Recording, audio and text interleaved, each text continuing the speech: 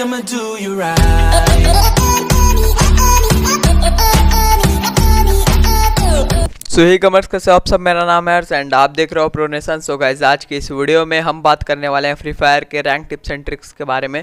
तो ये बेसिकली हम लोग के रैंक टिप्स एंड ट्रिक्स का पार्ट टू इससे पहले मैंने already rank tips and tricks का पार्ट वन बना दिया है। अगर आपने उस वीडियो को देखा नहीं है तो लिंक डिस्क्रिप्शन में है और आप मेरे प्ले के थ्रू भी उस वीडियो को देख सकते हो। तो इस वीडियो में मतलब बेसिकली इस प्ले में बेसिकली इस सीरीज़ में हम लोग बात करते हैं रैंक के टिप्स एंड ट्रिक्स के बारे में, किस तरह से आप बहुत ही क्विकली हीरोइक पे जा सकते हो, बहुत ही तेज आप रैंक पुश कर सकते हो। एंड आपको मतलब बेसिकली किस तरह से आप रैंक में बहुत ही फास्ट यार जा सकते हो मतलब हीरोइक बहुत ही इजी वे मैं आपको बताता हूँ इस सीरीज़ में बेसिकली एंड बहुत ही क्विक तरीका रहता है इस वीडियो में तो आपको पता चल जाएगा वो सब। बाकी ये और इस वीडियो को पूरा लास्ट तक आप देखिएगा ज़रूर। ये वीडियो आपको कैसा लगेगा ये मेरे को आप कमेंट में ज़रूर बताइएगा। अपने ओपिनियंस आप मेरे को कमेंट में बता सकते हैं। सबसे पहली बात बता दें, पिछली वीडियो मैंने आपको बोला था कि मैं मैं डायमंड वन पे हूँ। बेसिकली डायमंड वन पे मैं क्या कर रहा हूँ, आप लोग सोच रहे तो मैं आपको पहले ही बता रहा हूँ, मैं किल पे अभी फोकस कर रहा हूँ। क्योंकि यार देखो हीरोइक जाना कोई बड़ी बात नहीं है। मैं दो दिन के अंदर हीरोइक चला जाऊँगा, दिक्कत उसकी नहीं है।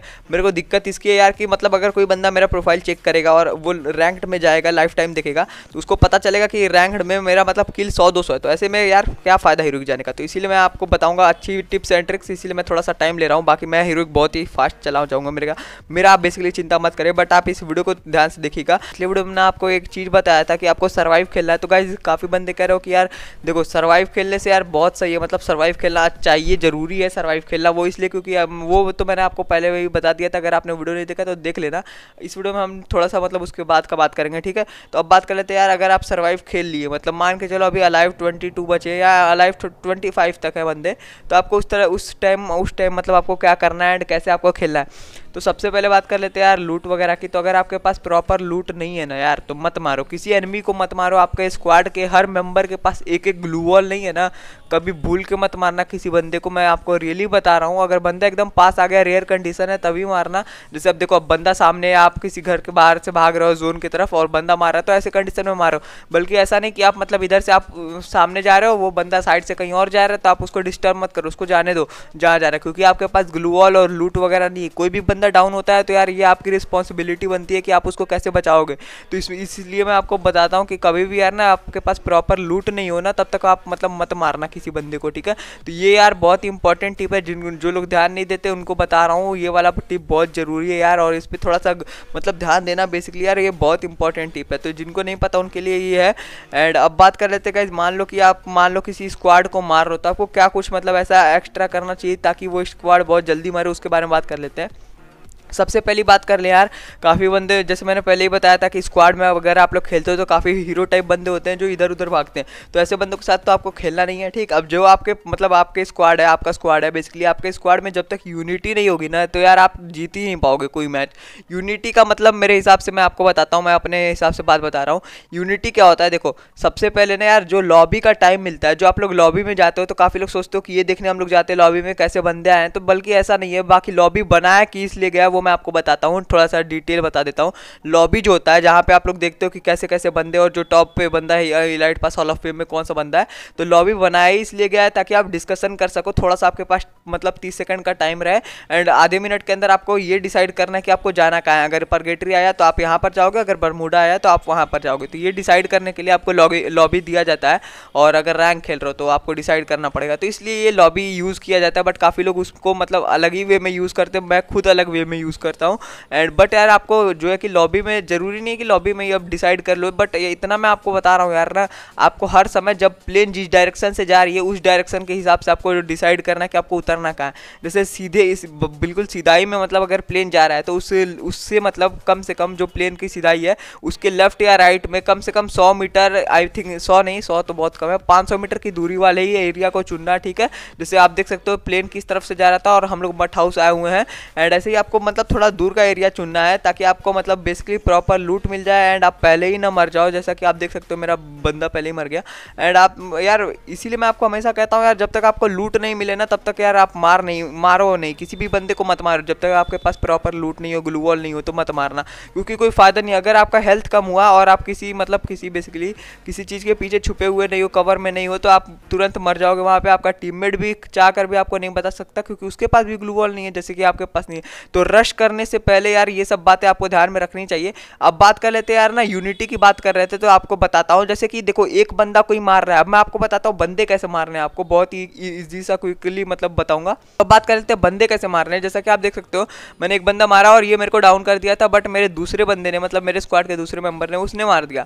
तो यार आपको यूनिटी का मतलब यही होता है कि अगर आप किसी बंदे को डाउन कर रहे हो तो वो बंदा दूसरा आपका स्क्वाड मेंबर उसको खत्म करे या फिर एक ही बंदे को टारगेट करो। सबसे इंपॉर्टेंट बात मैं बता रहा हूँ देखो, एक बंदा स्क्वाड में, एक ना एक बंदा ऐसा होगा जो थोड़ा सा दूर हो गया होगा मतलब थोड़ा सा दूर में मतलब जैसे चारों बंदे एक साथ है, चार बंदे में से तीन बंदे एक साथ है, एक बंदा थोड़ा सा इस साइड गया होगा। तो आप लोग उन चारों को छोड़ के बल्कि उस साइड वाले बंदे को मारो। यार मतलब देखो, अगर मान लो जैसे हम लोग के स्क्वाड के तीनों बंदे एक बंदे को टारगेट कर रहे हैं, यानी एक बंदे को मार रहे हैं। तो यार कितना जल्दी वो मरेगा? मतलब बस तीनों लोग एक एक बार अपना एक एक गन का गोली मारेंगे उसके ऊपर और वो मर जाएगा। तो यार बहुत ही ईजिली आप लोग मार पाओगे ऐसे स्क्वाड में। यही वाली टिप्स मतलब बहुत ज़रूरी मैं आपको बता रहा हूँ कि मतलब आपको यार ना एक बंदे को टारगेट करना है, पहले उसको ख़त्म करो, फिर आप सभी लोग मतलब हमेशा ऐसा करा करो ना कि मतलब एक बंदे को पहले मारो, फिर दूसरा, तीसरा। बल्कि ऐसा नहीं किया करो कि चारों के चारों अलग अलग बंदे को मार रहे हो। ऐसे यार आपको बहुत प्रॉब्लम होगा। तीन बंदे आप लोगों ने मार दिया चौथा बंदा वो मतलब ख़त्म कर देगा सबको। ऐसा होता है बहुत बार होता है। तो कभी भी यार ना हीरो बनने की कोशिश मत किया करो जो, जो मतलब अपने स्क्वाड के साथ चलो। अपना जब तक आपका स्क्वाड नहीं रेडी है सबका हेल्थ फुल नहीं है मत रश करो। रश के बारे में अगर आपको नहीं पता है तो बता दूँ कि मतलब रश का मतलब क्या होता है बेसिकली सामने बंदे हैं और वो भी मार रहे हैं आप भी मार रहे हो छुपे हुए दोनों और आप लोग दौड़ के उनके पास जा रहे हो। तो इसको कहते हैं रश करना। जिनको नहीं पता उनको बता रहा हूँ अदरवाइज़ सबको तो पता ही होगा। काफ़ी बंदे हैं नए नए बंदे उनको नहीं पता होता इसलिए मैं बता देता हूँ ये सब छोटी छोटी बातें हैं जिनको नहीं पता होता, उनको बता दूँ। तो यार, कभी भी रश करो ना तो आपको अपने स्क्वाड के साथ जाना है, अकेले मत जाओ। कभी भी अकेले मत जाओ स्क्वाड का। देखो, मैं बता रहा हूँ कैसे आपको करना है। आपके देखो, सबसे पहले रश करने का सबसे बेस्ट नियम बता रहा हूँ कि आपको मतलब अगर आप ओपन में हो तो आपको करना क्या है। कि अगर आप रश करना चाहते हो तो आपके स्क्वाड के दो मेंबर्स बिल्कुल सीधे जाएँगे उस बंदे की तरफ़। ठीक, दो मेंबर साइड साइड से जाएँगे। अब जो आपका मतलब जो फ़र्स्ट मेंबर अब दो मेंबर सीधे जा रहे हैं तो उसमें से एक मेंबर जो होगा आपके स्क्वाड का, वो लगेगा मारने। ठीक, अब वो जितना मार सकता है, वो वो उतना मारेगा। ठीक और वो अगर डाउन हुआ तो दूसरा वाला मेंबर उसको बचाएगा और मान लो अगर उसने ग्लू वॉल लगा रखा है तो लेफ़्ट राइट वाले बंदे भी उसको मार के वो वाला मतलब बेसिकली लेफ़्ट और राइट वाले बंदे मार के उनका स्क्वाड को ख़त्म कर देंगे। तो बहुत ही ईजी सा टिप है यार, जिनको नहीं पता उनको बता रहा हूँ। ये सब यार ऐसे मतलब टिप्स हैं जिनको, जिनके बारे में ये सब कॉमन टिप्स है यार, जिनको नहीं पता है उनको बता रहा हूँ बस। और बाकी आपको यही से ही खेलना है हमेशा आपको यूनिटी में रहना मतलब अपने स्क्वाड के साथ रहना है। एक बंदा मत मारो यार, ऐसा नहीं है कि एक बंदा मार रहा है किसी बंदे को तो आप उसको छोड़ो मत, आप दूसरे बंदे को मत मारो, उसी बंदे को मारो। जो एक बंदा दूसरे एक को मार रहा है तो आपको उसी को मारना है, ठीक है? और किसी और को मत मारो, क्योंकि पहले एक बंदा खत्म कर दो। जो डाउन हो रहा है ना यार, उसको भी खत्म करो। रैंक गेम में तो ये बात याद रखना, कभी भी डाउन बंदे को छोड़ना मत। कब आपका किल चोरी हो जाए, किसी को नहीं पता, या आप क्या पता पहले ही मर जाओ। तो कभी भी बंदा डाउन करके छोड़ो मत, अगर आपके पास ऑप्शन है मारने का, फटाक से उसको किल करो। अब बात करते हैं यार कभी कभी रेयर कंडीशन आता है कि आपके टीममेट्स मतलब डाउन हो जाते हैं, ठीक? डाउन हो जाते हैं और सामने वाला बंदा एक बचता है, उसका हेल्थ कम रहता है। बट काफ़ी लोग गलती ये करते हैं कि मतलब अपने टीममेट्स को सोचते हैं, मैं पहले बचाऊँगा और मतलब फिर खुद भी हील करूँगा, फिर मारूँगा। और उसके भी बंदे डाउन रहते हैं तो वो क्या करता है कि वो मतलब सबसे पहले खुद भी हील करेगा बोनफायर वगैरह जला देगा और अपने बंदों को भी हील कर देगा। तो आपको ऐसा नहीं करना यार, आपका हेल्थ कम हो, आपके बंदे डाउन हो, तब तक आपको लड़ना है, जब तक कि मतलब भले आप मर जाओ, लेकिन आपको ऐसे छोड़ना नहीं उसको।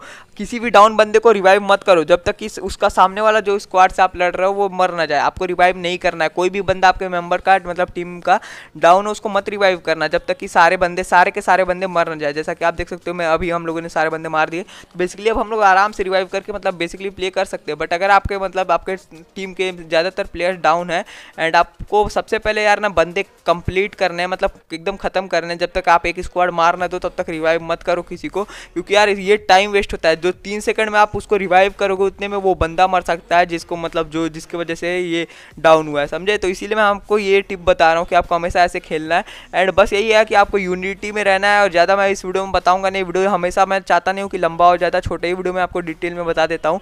तो आपको यार दो बातों का ध्यान रखना है। पहला यूनिटी में रहना है। दूसरा, कि आपको अपने टीम का साथ देना है। सभी बंदे एक बंदे को मारो, एक बंदे को टारगेट करोगे ना तो बहुत क्विक काम होगा।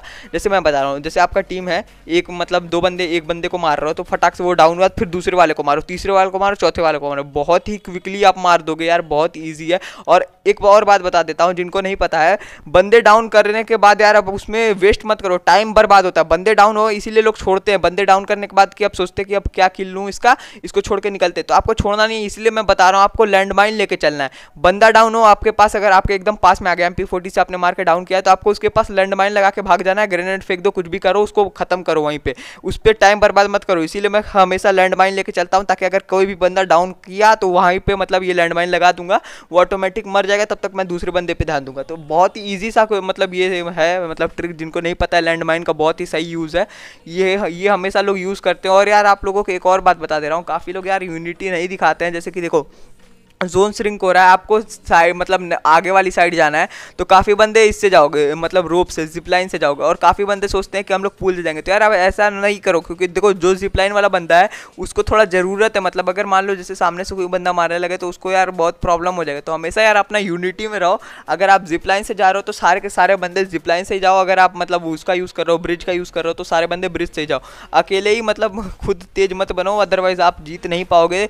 और हमेशा यार, यही बात तो है कि अगर आपको जीतना है तो जब तक आपके टीम में यूनिटी नहीं रहेगी, आप एक बंदे को मार रहे हो तो यार आपके दूसरे बंदे को भी मारना चाहिए। अगर वो दूसरा वाला बंदा आपके मेंबर उसी बंदे को टारगेट करेगा तो कितना फास्ट मरेगा। तो और फिर आप दूसरे बंदे को टारगेट करो। हमेशा टारगेटिंग करके खेलोगे ना तो बहुत ही क्विकली आप जीत पाओगे। और यार हमेशा मतलब देखो, कोई भी बंदा हर समय जीतता नहीं है। फिर भी मैं ये सब जो टिप बता रहा हूँ, इससे आप टॉप थ्री तक तो पहुँच ही जाओगे कन्फर्म और जीतने की बात रही तो यार जब टॉप थ्री तक पहुँचो, अगर अच्छे प्लेयर हो, तभी तो तब तो आप तो आराम से ही जीत जाओगे। और सबसे इंपॉर्टेंट एक बात बता दूँ कि कभी भी ना ऐसे बंदों के साथ मत खेलो जो स्क्वाड पे डिपेंडेड होते हैं। ऐसे बंदों के साथ खेलो जो अकेले पूरा स्क्वाड मार दे। सीधी साफ़ बात मैं आपको बता रहा हूँ, जो अकेले पूरा स्क्वाड मार दे, ऐसे बंदे के साथ खेलो जो मतलब जिनको यार किसी से फियर नहीं रहता है। उनको कह दोगे मतलब सामने एक स्क्वाड है पूरा, वो पूरी स्क्वाड मार सकता है। ऐसे बंदों के साथ खेला करो। मेरे ऐसे मतलब जिनके साथ मैं खेलता हूँ, मेरी जो परमानेंट स्क्वाड है, उसमें ऐसे बंदे हैं कि अगर सामने एक स्क्वाड भी है ना, वो टावर में बैठे बैठे पूरा स्क्वाड खत्म कर देगा या ग्लूवॉल लगा लगा के खत्म कर देगा। इतना सही मारते हैं मतलब मेरे टीम मेंबर्स तो इसके इसीलिए मैं आपको बता रहा हूँ कि आपके टीम मेंबर्स बहुत सही होने चाहिए और सभी को टीम वर्क करना है। जब तक आप टीम वर्क नहीं करोगे, आपका स्क्वाड नहीं जीत पाएगा। तो आई होप गाइज़ आपको ये टिप्स एंड ट्रिक्स पसंद आया होगा। नेक्स्ट पार्ट मैं जल्दी ही लाने वाला हूँ। आप मेरे को कॉमेंट में करके बताना कि जो मैं बातें आपको बताया, वो सही है या गलत। और आपको क्या लगता है इसके बारे में, ये सब मेरे को कॉमेंट में बताना। अगर आपने चैनल सब्सक्राइब नहीं किया तो सब्सक्राइब कर लो। मैं आपके लिए ऐसी टिप्स एंड ट्रिक्स लेकर आता रहूँगा। मैं मिलता हूँ गाइज़ अपने ऐसी किसी ने एक्साइटिंग वीडियो में। तब तक के लिए बाय गाइज़